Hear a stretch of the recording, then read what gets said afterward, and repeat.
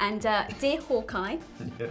I'm trying to juggle family life and work life, but I can't find a balance. What do you suggest I do to keep everyone happy? Uh, quit your job, kill your family. then you can go be happy.